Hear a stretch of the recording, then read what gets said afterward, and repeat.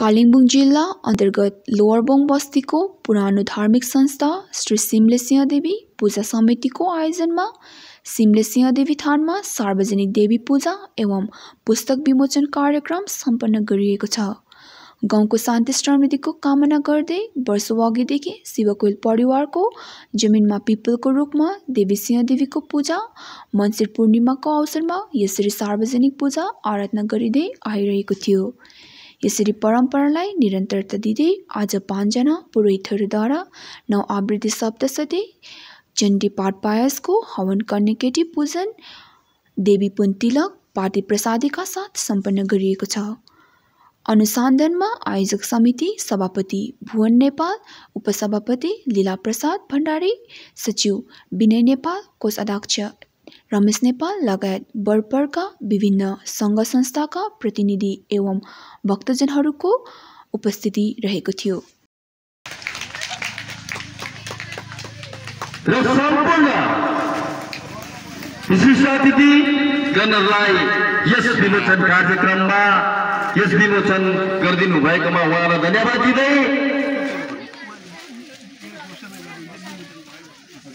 र यस अठार महापुराणको पुस्तक विमोचन गरिएको घोषणा अठार महापुराण सभाध्यक्षदेखि यो परिसरमा आइदिनु भएदेखि धेरै उत्तम हुने थियो किनकि यस कार्यक्रमलाई सुनमा सुगन्ध थप्नको निम्ति भक्तजनको पनि धेरै आवश्यकता रहेको म यहाँबाट महसुस गर्न चाहन्छु र आजको यस विशेष कार्यक्रम हामीले बमबस्तीका विभिन्न सङ्घ संस्था पण्डितजी साथ विशेष व्यक्तित्व को प्रयास में जो इस अठारह महाप्रभ सफल तुल्याउनमा हामी सफल बने थियौँ इतिहास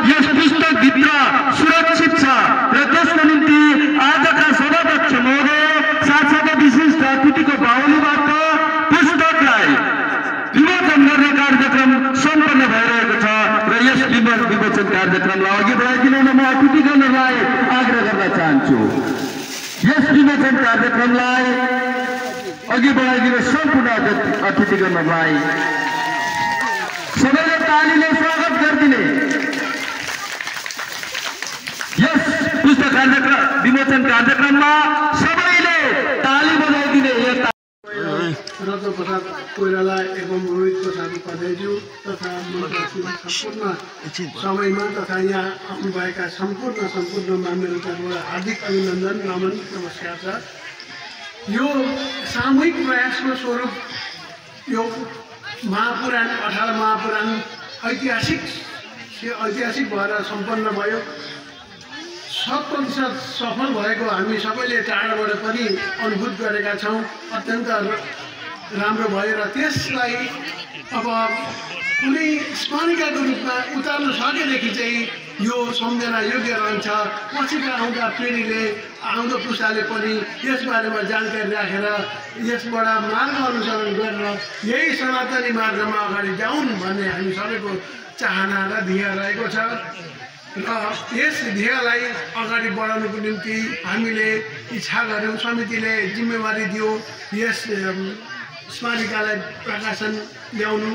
यसको निम्ति निकै काम गर्नु पर्यो निकै मिहिनेत गर्नु परेको छ र यसमा तर मेरो मात्रै मिहिनेत नभएर यहाँ मेरो दुई भाइहरूलाई म सम्झिन्छु। हेमकुमार साकोटा र यादव साकोटा यादव साकोटालाई मैले भाषाको लागि लगाएँ प्रुफ हेर्न लगाएँ र यो हेमकुमारले अलिकति आधा उति जति हेमकुमारले कम्पोज गरे भने अरू जम्मै मैले कम्पोज गरेको र त्यसलाई प्रस्तुत गर्नुमा बा हेर्दै जाँदा यादवलाई लगाएर बिस्तारै बिस्तारै एउटा मूर्त रूप लिन पाएको छ।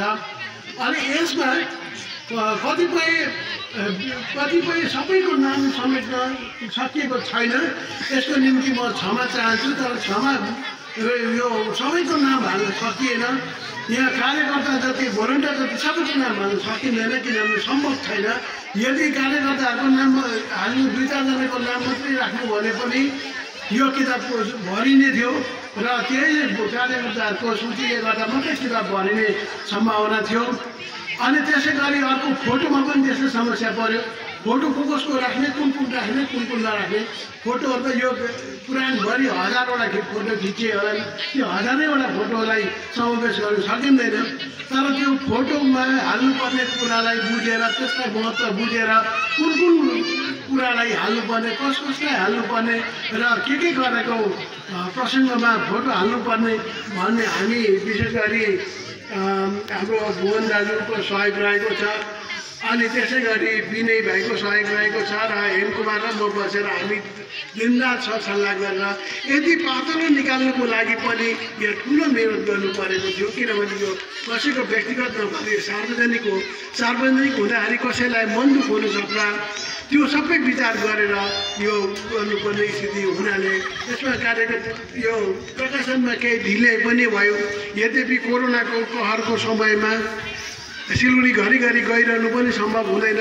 प्रायः प्रायः यो कम्प्युटरमा घरमै बसेर काम गर्दाखेरि र पनि सिलगढी तिन चारचोटि जानु पर्यो र त्यहाँ गएर विभिन्न किसिमको सेटिङ गर्नु मिलाउनु फोटो छान्नु गर्दै गर्दै विभिन्न काम गर्नु पर्यो।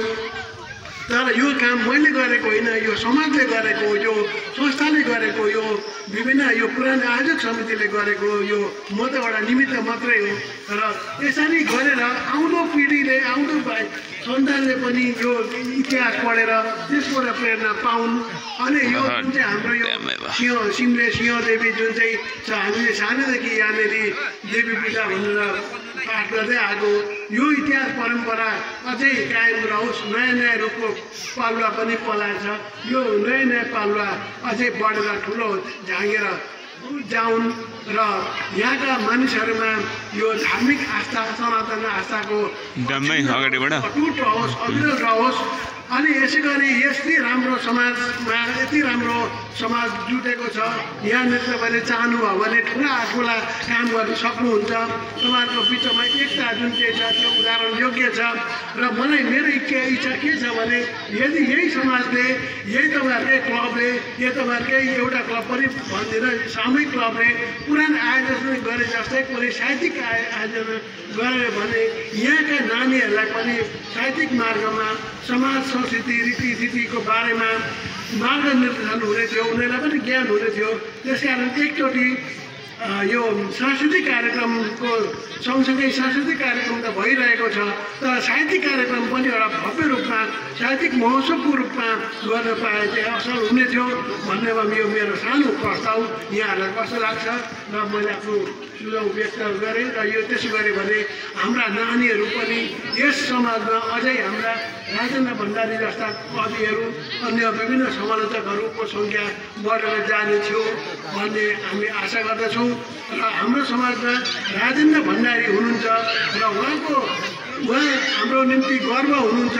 उहाँ हाम्रो बम्बसीको मात्रै नभएर कालिम्पोङको गर्व हो। र भारतीय नेपाली साहित्यमा भारतीय नेपाली साहित्यमा उहाँ हामी गर्वका साथ हाम्रोमा कवि डाक्टर रा- राजेन्द्र भण्डारी हुनुहुन्छ भनेर गर्व गर्ने हुनुहुन्छ।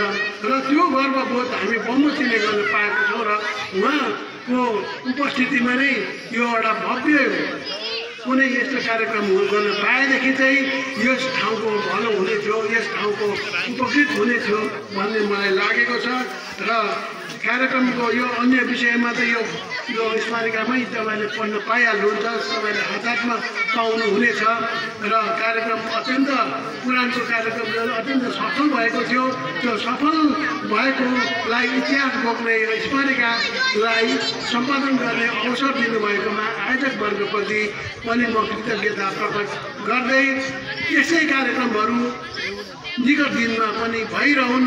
भइरहन् चराइबेटी चराइबेटी भनिन्छ। अगाडि बढिरहँ बढिरहँ नबिसाइकन अगाडि बढिरहँ। चाहन्छ भने चाहनुभयो भने जे पनि गर्न सक्नुहुन्छ भन्ने कामना गर्दै र यस गाउँको भलो होस् सबै सुख शान्तिमा रहन् अध्यात्म र चिन्तनमा धार्मिक आस्था अटुट रहोस् भन्ने कामना गर्दै मेरो छोटो मन्तव्य यही समाप्त गर्दछु।